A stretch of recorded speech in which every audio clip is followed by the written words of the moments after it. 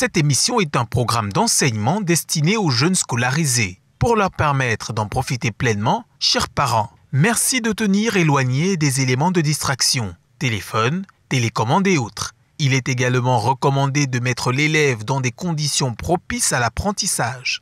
Avoir un cahier et un crayon à billes à portée de main serait bénéfique. Dans la mesure du possible, la surveillance parentale ou d'un tuteur peut s'avérer nécessaire.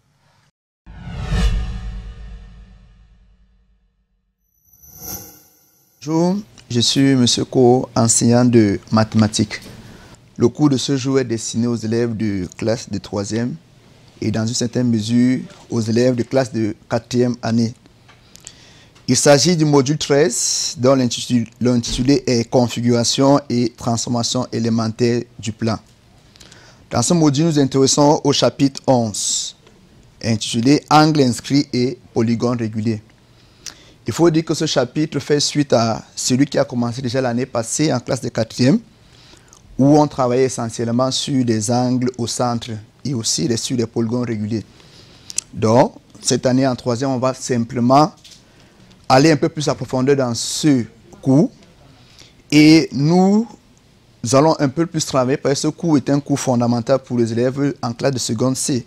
Donc, pour ceux qui ambitionnent d'aller en classe de seconde scientifique, ce sera votre deuxième chapitre c'est-à-dire le premier chapitre de géométrie. Donc, il est important de bien maîtriser les premiers concepts en classe de troisième pour que le cours soit un peu plus aisé pour vous quand vous serez en classe de seconde l'année prochaine. Ce cours a pour objectif, euh, dans un premier temps, il sera question que l'élève soit capable de reconnaître aisément un angle inscrit dans un cercle. Dans un second, dans d'une deuxième mesure, l'élève doit être capable d'utiliser les propriétés des angles inscrits dans un cercle notamment dans des exercices. Donc, quand on vous donne un exercice, vous devez être capable de répondre aux questions en vous appuyant sur des propriétés. Dans un troisième temps, il sera question pour vous d'identifier un polygone régulier et d'être capable de construire un polygone régulier. Alors, nous allons amorcer la situation problème. En grand 1, situation problème. Pour confectionner le col dit col d'un vêtement, M. Doumbé, couturier, utilise une pièce de tissu de forme triangulaire dont un angle au sommet mesure 35 degrés. Monsieur Noumbé souhaite couper un morceau sous forme triangulaire suivant la base de l'angle de 35 degrés, de sorte que l'angle au sommet ayant la même base avec le morceau de tissu initial 70 degrés, c'est-à-dire le double de l'angle initial. Aidez M. Doumbé à réaliser la coupe de son col. Vous avez à l'écran à quoi ressemble ce col V. Donc, il est question pour le couturier, M. Ndoumbe, de réaliser la coupe de ce col V. Vous avez certainement eu à mettre sur vous des, des. Donc, à la fin de notre activité, il faudrait qu'on soit capable d'aider M. Ndoumbe à réaliser la coupe de, euh, de ce col V. Vous savez que les couturiers, avant de coudre, réalisent d'abord des coupes. Voilà, nous allons essayer de voir dans quelle mesure est-ce que on peut aider M. Ndoumbe à réaliser la coupe de, de ce col V. Évidemment, nous sommes en troisième. Nous commençons notre cours, le chapitre par des prérequis. Qu'est-ce que l'élève de troisième est supposé connaître avant d'amorcer euh, ce chapitre? Nous avons énuméré quelques questions. La première, nous vous la posons. Combien d'angles compte un triangle? La deuxième, donner la, relation entre les mesures des angles d'un triangle. La troisième, quelle est la nature du triangle ayant tous ses côtés égaux? Est-il inscriptible dans un cercle? La quatrième, quel est le quadrilatère ayant tous ses côtés égaux et est-il inscriptible dans ce cercle? Ces prérequis vont nous permettre d'entrer comme cela dans le chapitre en abordant simultanément la notion d'angle inscrit et la notion de polygone régulier. Alors, nous apportons immédiatement quelques solutions. Supposons que vous avez le temps de réfléchir un peu. Nous apportons donc quelques solutions à ces questions qui ont été posées. La première, combien d'angles compte un triangle? Ça, c'est une leçon qui est abordée en cas de sixième. Et en sixième, on vous dit dans un triangle, la somme des mesures des angles est égal à 180 degrés. La deuxième, donner la relation entre la mesure des angles d'un triangle. Évidemment, je l'ai dit en amont, dans un triangle, la somme des mesures est égale à 180 degrés. Et dans un triangle, on a trois angles.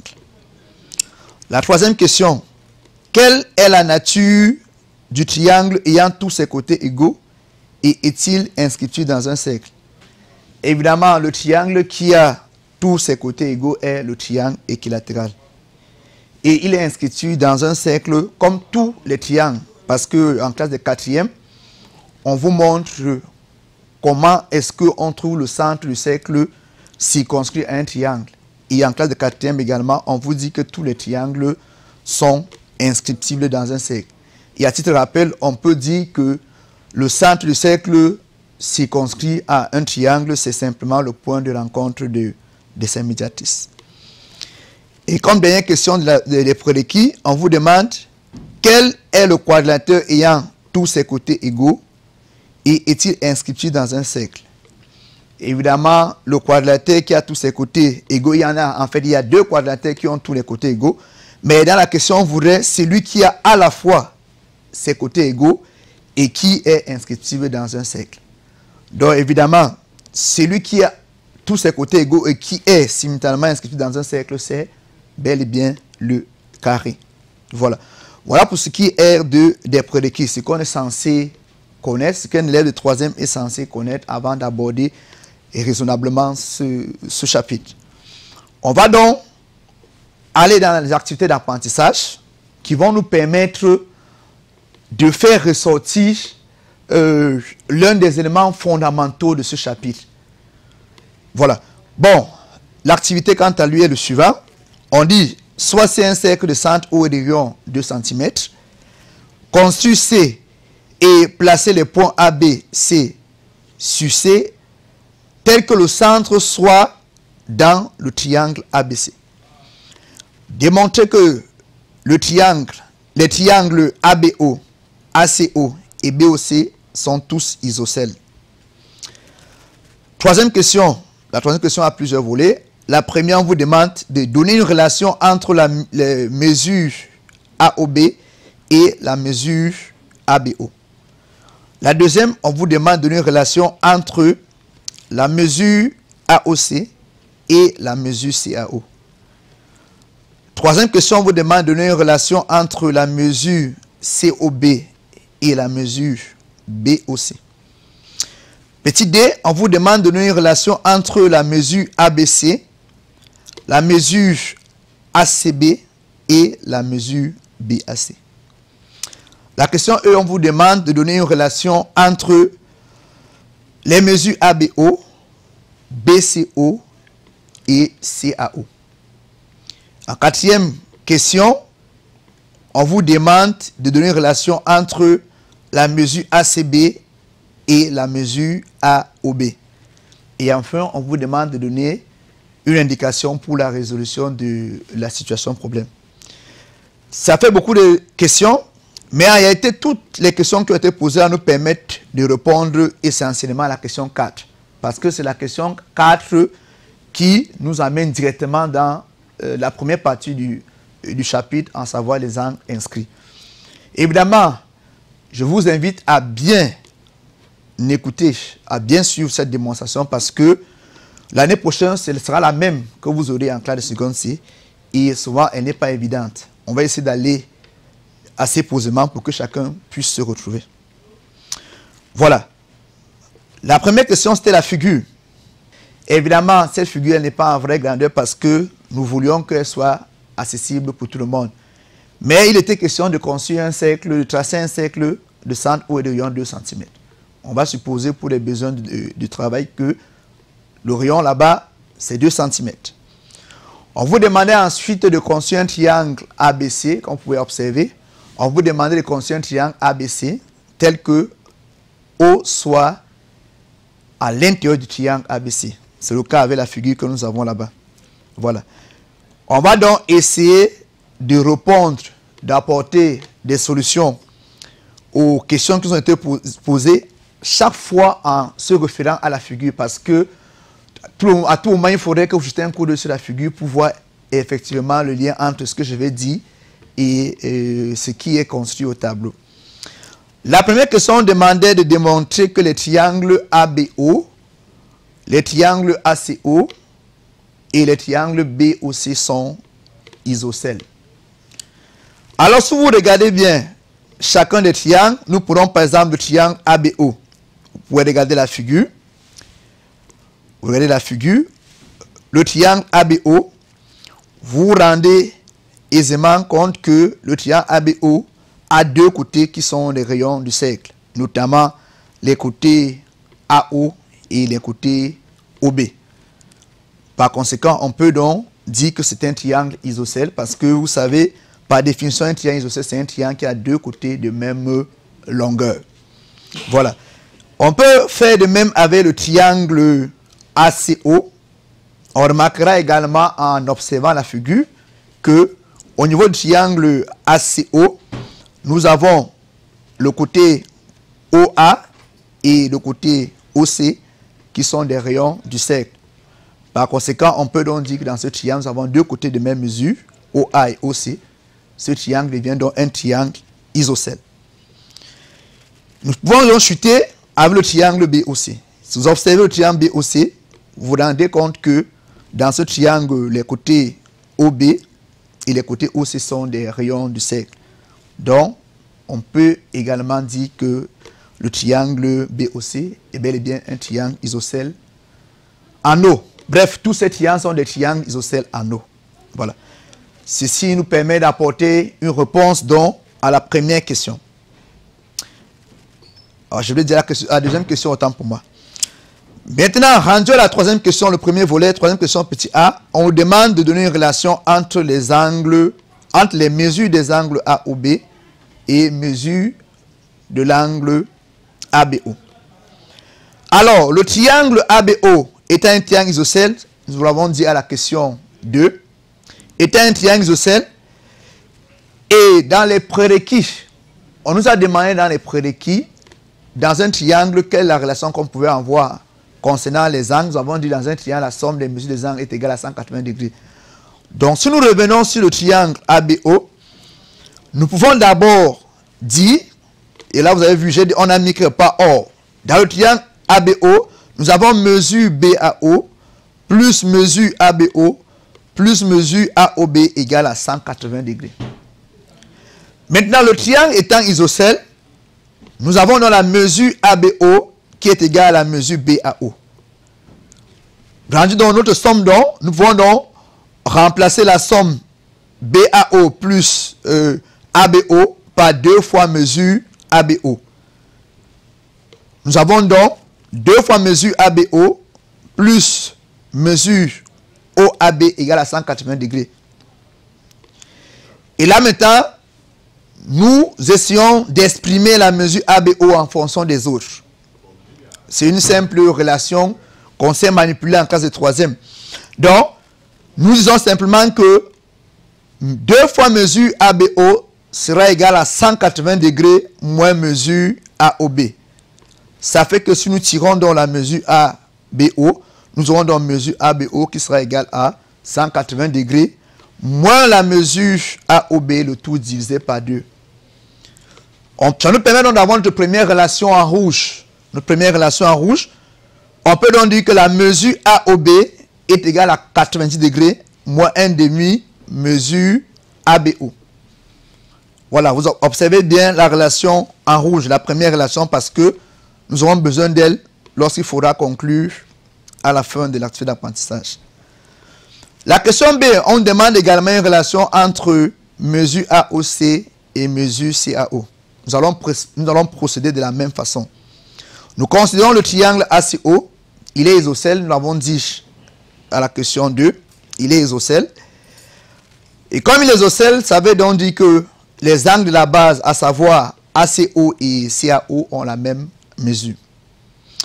Comme dans tout triangle, nous avons mesure ACO plus mesure CAO plus mesure AOC égale à 180 degrés. Donc la somme des mesures des angles dans un triangle est égale à 180 degrés. C'est le cas également pour ce triangle BCO. Alors, nous avons fait remarquer que la mesure de, de l'angle BCO est égale à la mesure de l'angle CBO. Par conséquent, nous pouvons simplement transformer la somme mesure BCO plus mesure CBO en deux fois mesure BCO. Nous obtenons la relation deux fois mesure BCO plus mesure BOC égale à 180 degrés.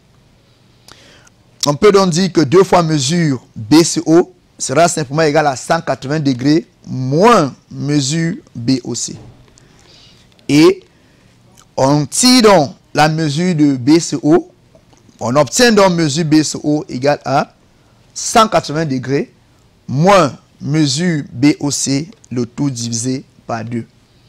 On peut donc avoir notre relation 2, qui est donc, euh, notre relation 3 autant pour moi, qui est donc mesure BCO égale à 80 degrés moins 1 demi mesure BOC.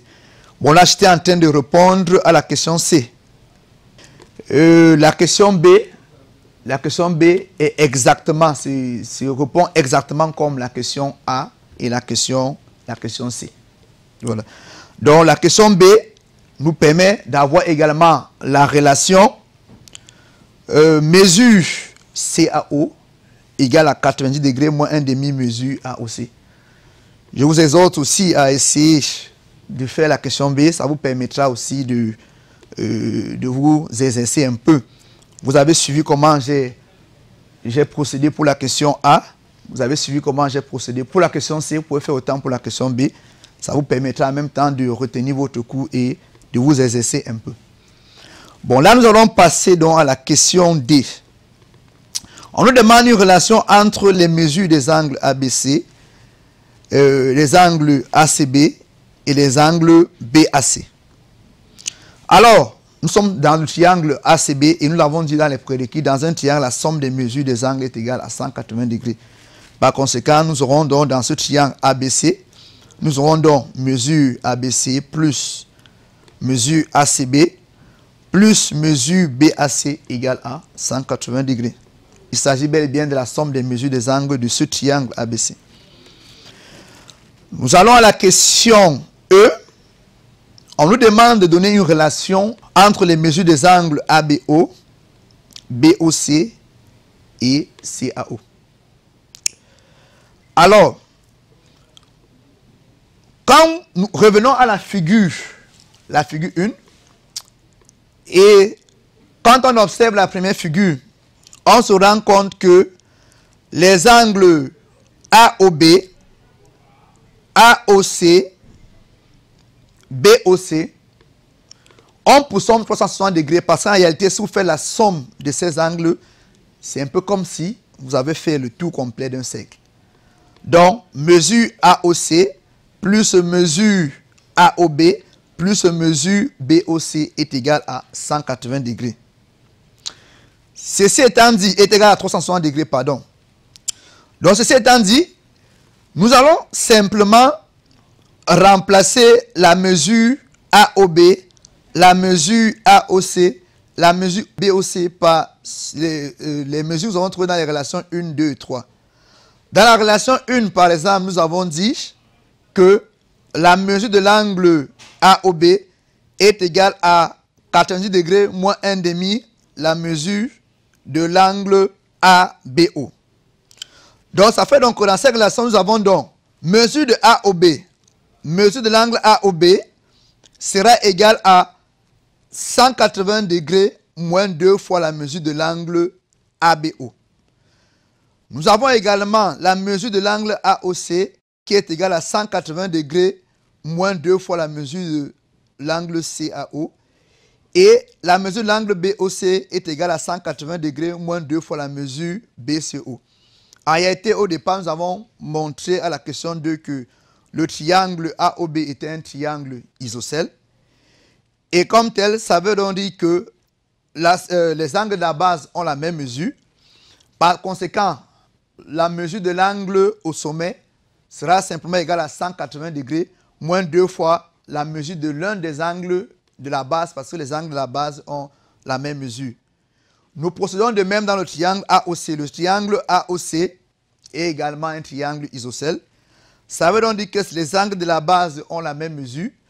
L'angle AOC, c'est l'angle du sommet. Donc, la mesure de l'angle AOC sera égale à 180 degrés moins deux fois la mesure de l'angle de la base. Et enfin, le triangle BOC est aussi un triangle isocèle. BOC, c'est l'angle au sommet. Les angles de la base ont la même mesure. Ça veut donc dire que la mesure de l'angle BOC, c'est 180 degrés moins deux fois la mesure de l'angle BCO. Maintenant, en remplaçant chacun des angles par son équivalent, nous obtenons donc la relation 180 degrés moins 2 mesure ABO plus 180 degrés moins 2 mesure CAO plus 180 degrés moins 2 mesure BCO égale à 360 degrés. Si vous faites, nous avons 360 degrés trois fois dans l'égalité de gauche. Si nous faisons la somme 180 degrés plus 180 degrés plus 180 degrés, nous obtenons 540 degrés. On peut donc avoir à la prochaine ligne moins 2 mesures ABO, moins 2 mesures CAO, moins 2 mesures BOC, plus 540 degrés égale à 360 degrés. Prochaine ligne, nous avons donc moins 2 mesures ABO, moins 2 mesures CAO, moins 2 mesures BOC égale à 360 degrés, moins 140 degrés. 140 degrés se retrouvant cette fois-ci dans le membre de droite. Et quand nous faisons 360 euh, degrés moins 140 degrés, on obtient moins 180 degrés. En observant, en, observant le membre de gauche, si nous mettons moins 2 en facteur, nous obtenons moins 2 facteurs de mesure ABO plus mesure CAO plus mesure BOC égale à moins 180 degrés. Si nous essayons donc de d'exprimer la somme des mesures ABO, CAO et BOC, on va donc obtenir mesure ABO plus mesure CAO plus mesure BOC égale à moins 180 degrés divisé par 2. Évidemment, vous pouvez le faire manuellement ou bien mentalement ou bien avec, à l'aide d'une calculatrice. Si vous faites 180 degrés divisé par 2, évidemment, on trouve 90 degrés. Par conséquent, nous avons donc la relation qui est en rouge, à savoir mesure ABO plus mesure CAO plus mesure BOC est égal à 90 degrés. Voilà la relation qu'on demande d'établir. Nous passons donc à la question 4. En utilisant, la question, en utilisant la question 3, donner une relation entre mesure ACB et mesure AOB. Je l'ai dit au départ, la question 4, elle est fondamentale. Elle est fondamentale parce que c'est la question 4 qui permet d'embrer dans le coup. Nous avons essayé d'utiliser la relation que nous avons prise, plus haut, c'est-à-dire mesure ACB égale à mesure ACO plus mesure OCB. Et nous avons obtenu la relation qui est celle que vous avez en rouge. Donc nous reviendrons dans la suite pour vous donner euh, le résumé. Merci.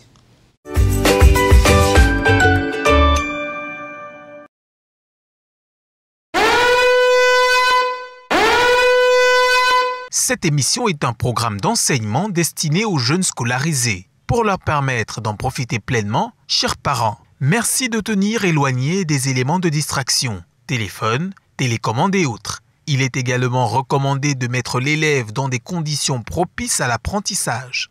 Avoir un cahier et un crayon habillé à portée de main serait bénéfique. Dans la mesure du possible, la surveillance parentale ou d'un tuteur peut s'avérer nécessaire.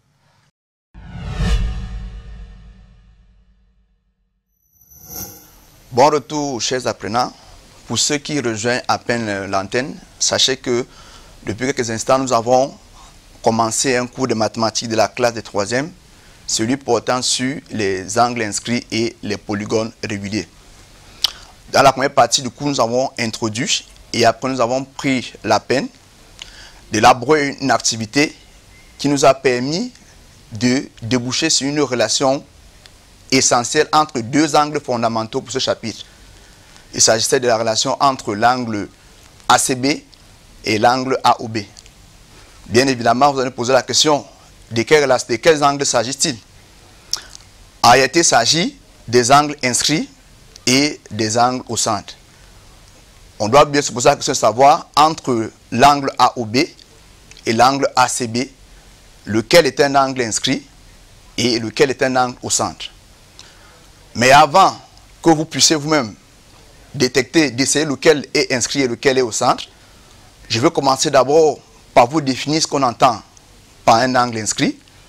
Et ensuite, je vous dirai ce qu'on entend par un angle au centre. Et après, on reviendra vers la figure pour que vous puissiez identifier entre ces deux lequel est inscrit et lequel au centre. On va commencer par dire que, déjà en classe de quatrième, vous avez abordé la notion d'angle au centre. Et on vous a dit, un angle au centre est un angle dont le sommet est le centre d'un cercle. Donc il suffit simplement que vous soyez sur un cercle, vous identifiez un angle dont le sommet est le centre d'un cercle, alors cet angle-là sera appelé un angle au centre. Maintenant, un angle inscrit, quant à lui, c'est un angle dont le sommet est sur le cercle, mais les côtés coupent le cercle. Donc il suffit qu'on ait un angle dont le sommet est sur le cercle et dont les côtés coupent le cercle pour qu'on parle d'angle inscrit. Alors, si nous revenons donc à la figure, à la figure de l'activité, pour essayer de regarder entre ACB et AOB, lequel est inscrit et lequel au centre, vous pouvez donc aisément regarder que, constater que quand vous regardez l'angle AOC, O étant le centre du cercle, c'est clair que AOC est un angle au centre. Par contre, quand vous regardez l'angle ACB, le point A, le point C, qui est le sommet de cet angle, est un point du cercle, ça veut simplement dire que l'angle ACB est un angle inscrit. Alors, ça veut dire donc que nous avons donc établi une relation entre l'angle ACB qui est un angle inscrit et l'angle AOB qui est un angle centre. Mais il y a quelque chose de fondamental concernant ces deux angles. C'est qu'il faudrait que ces deux angles, pour que l'on parle de inscrit au centre, il faudrait que ces deux angles interceptent le même arc. Alors, quand vous regardez le cercle qui est à l'écran, si vous regardez le cercle qui l'écran, vous constaterez que si nous plaçons les points A et B sur ce cercle, les points A et B définissent deux arcs. Un arc qui est très grand, vous pouvez regarder en termes de longueur, il y a un arc qui est très grand et un, autre arc qui est un peu plus petit. Alors, les angles que nous venons de citer, à savoir l'angle AOB et l'angle ACB, ces deux angles interceptent le petit arc. Voilà.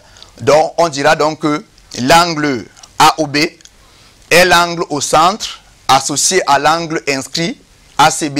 Et les deux interceptent le petit arc qui est l'arc AB. Donc, voilà défini ce qu'on entend par angle inscrit et ce qu'on entend par angle au centre.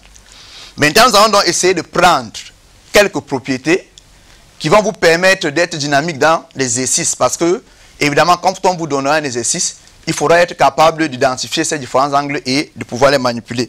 Donc, nous allons donc prendre les propriétés. Nous allons donc, avant de prendre les propriétés, restons à la fin de la page 4 nous avons quelques cercles et quelques angles qui ont été dessinés. Et il est donc question, vous demandons d'identifier entre ces différents euh, angles lequel, lesquels sont des angles inscrits, lesquels sont ceux qui sont des angles qui ne sont pas des angles inscrits. On a la figure petit a, la figure petit b, la figure petit c, la figure petit d et la figure petit e. Donc il est question pour nous d'identifier lequel, lesquels de ces angles sont des angles inscrits. Et on peut remarquer aisément qu'au niveau de la figure petit a, le sommet de l'angle est bel et bien sur le cercle et les deux côtés coupent le cercle. Donc évidemment, c'est un angle inscrit. Ce n'est pas le cas pour la figure B.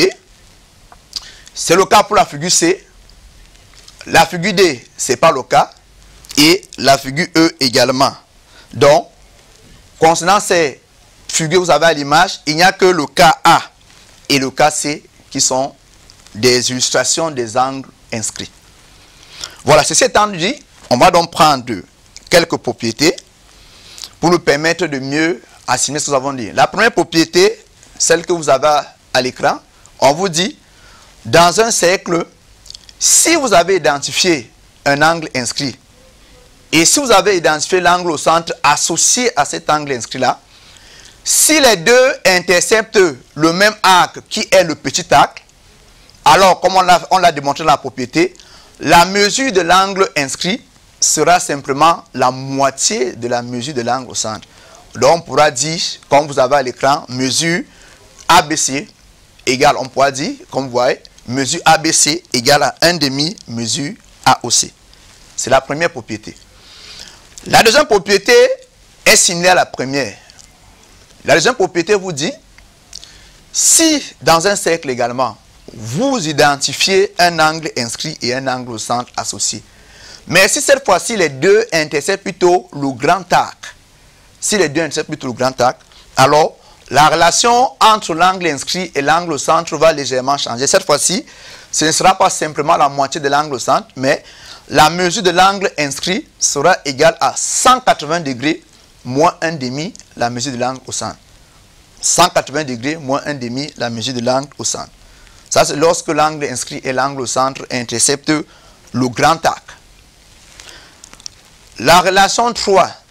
La relation 3, on vous dit, euh, la troisième propriété, autant pour moi, on vous dit, dans un cercle, si deux angles inscrits interceptent le même arc, alors ces angles inscrits ont la même mesure.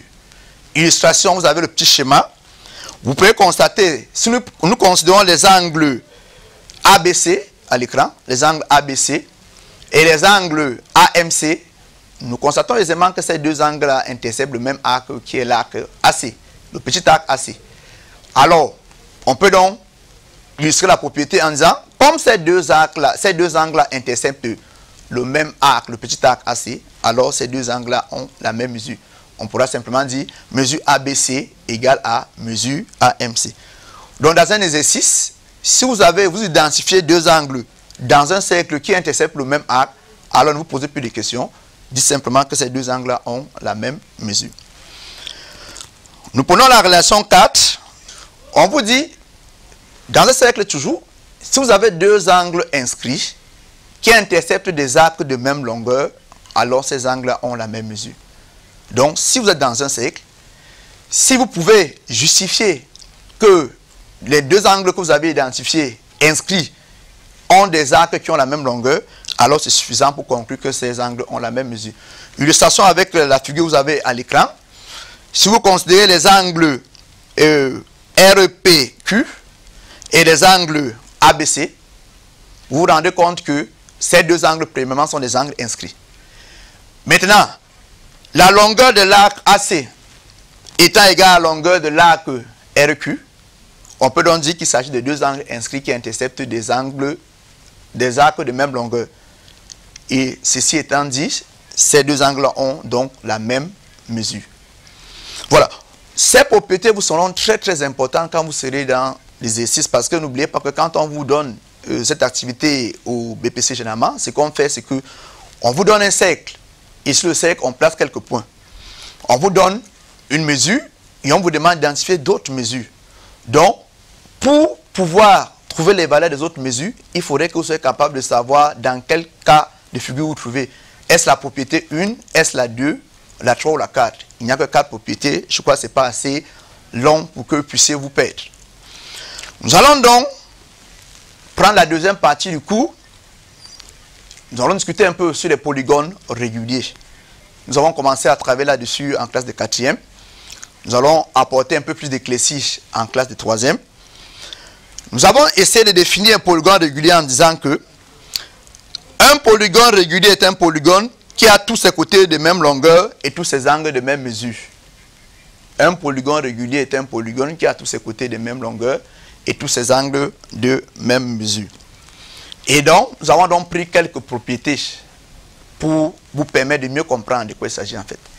La toute première vous dit, pour qu'un polygone soit régulier, il y a deux choses fondamentales. La première, vous devez vous rassurer que ce polygone est inscriptible. Et la deuxième, vous devez vous rassurer que les côtés de ce polygone ont la même longueur. Donc deux choses. Première chose, ce polygone doit être inscriptible. Deuxième chose, les côtés doivent avoir la même longueur. Donc on peut donc revenir un peu en arrière, quand on a lancé le coup, je vous ai parlé un peu du triangle équilatéral, je vous ai parlé du carré. On peut donc se dire, chez les triangles, lequel est régulier? Évidemment, le triangle qui est régulier, c'est le triangle équilatéral. Dans un exercice donc, de pyramide et cône par exemple, si on vous définit une pyramide régulière, si on vous dit on a une pyramide régulière dont la base est un triangle, vous n'avez plus besoin de poser de questions, vous devez savoir simplement que cette base-là est un triangle équilatéral, parce que l'unique triangle régulier, c'est le triangle équilatéral. Évidemment, chez les quadrilatères, lequel est donc régulier? Chez les quadrilatères, on peut donc remarquer que celui qui est régulier, c'est le carré. Pourquoi? Parce que déjà le carré il est inscriptible, tout comme le rectangle. Mais sauf que la différence entre le carré et le rectangle, c'est que le carré, lui, a ses côtés de même longueur, alors que ce n'est pas le cas pour le rectangle. Donc, je reviens également, si on vous donne notre exercice, toujours de pyramide et cône, et on vous dit qu'on a une pyramide régulière dont la base est un quadrilatère, vous n'avez plus besoin de vous poser des questions. Il ne faut pas dire qu'il y a des éléments qui manquent. Dès que la pyramide est régulière et que vous avez identifié que la base est un quadrilatère, alors il faut savoir que le polygone de base est bel et bien un carré.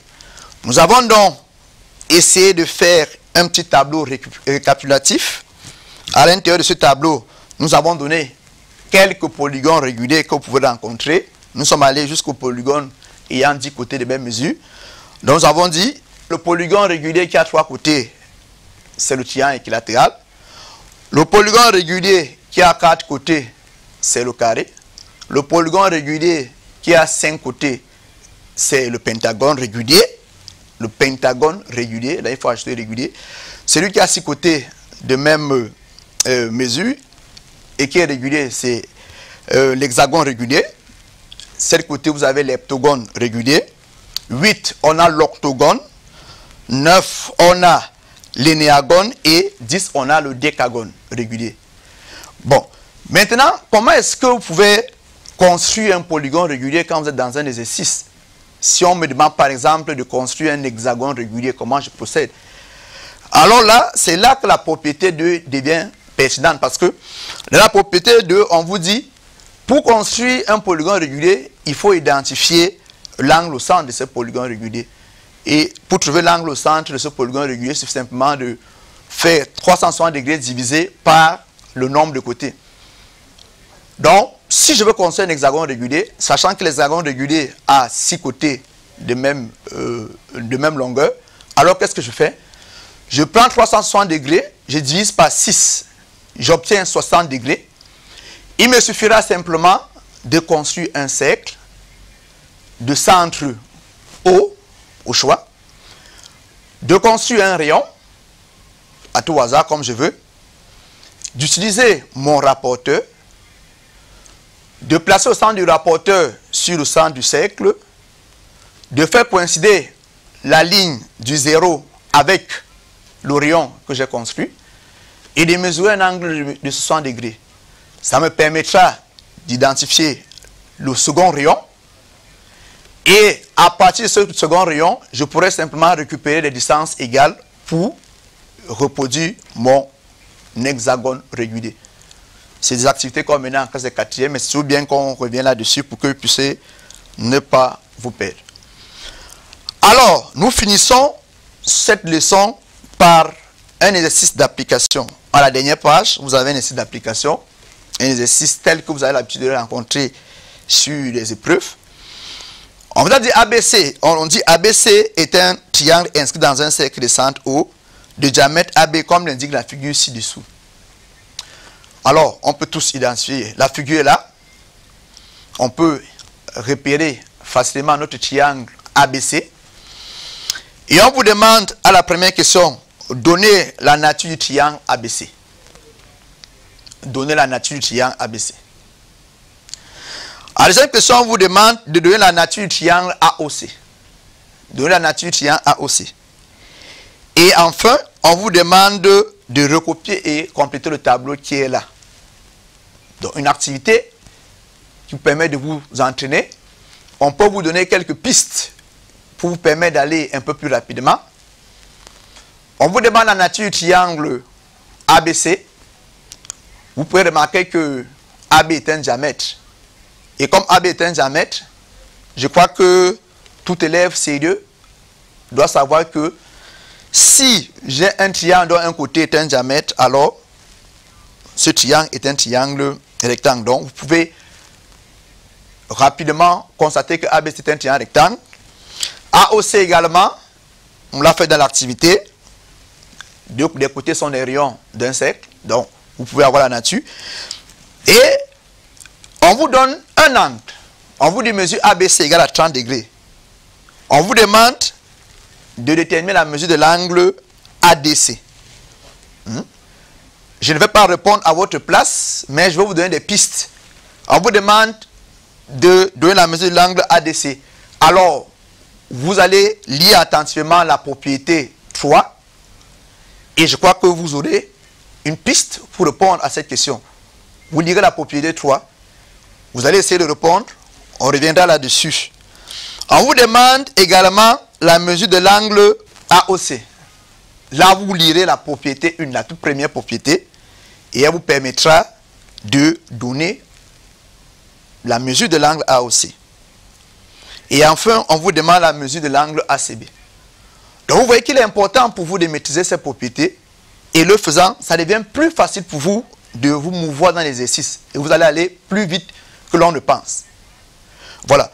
Voici, nous voici donc arrivés au terme de notre leçon sur les angles inscrits et les polygones réguliers.